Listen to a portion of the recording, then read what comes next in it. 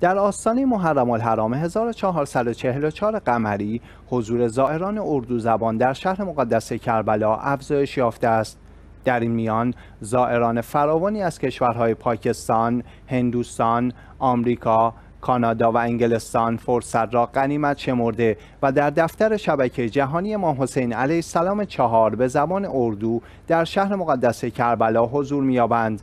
لازم به ذکر است بیننده های این شبکه علاوه بر بازدید از استدیوهای مجموعه رسانه‌ای امام حسین علیه السلام در برخی از برنامه های زنده یا ضبطی این شبکه مانند مهمان بهشت، جنت کا مهمان نیز حضور می‌یابند. علاقمندان در سراسر دنیا می توانند برنامه های این شبکه اردو زبان را از طریق سرویس پخش آنلاین، انواع box TV ها، تلویزیون های اینترنتی و کابلی و اپلیکیشن اختصاصی مجموع رسانی ما حسین علیه السلام مشاهده کنند.